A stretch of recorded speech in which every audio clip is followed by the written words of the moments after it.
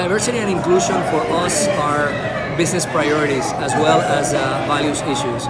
We have uh, the most diverse uh, board in tech. We have a CEO, Dion Weisler, that uh, comes from Australia, has lived in, in every continent around the world, and understands that the key to delivering meaningful innovation is to have teams that clearly represents the communities that we serve.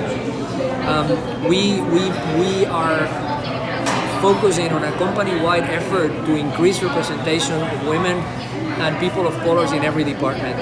In our marketing, uh, in our marketing group, uh, we have now 60% are women, 52% uh, of the managers, and more importantly than that, 50% of the top 10 uh, most senior roles in marketing.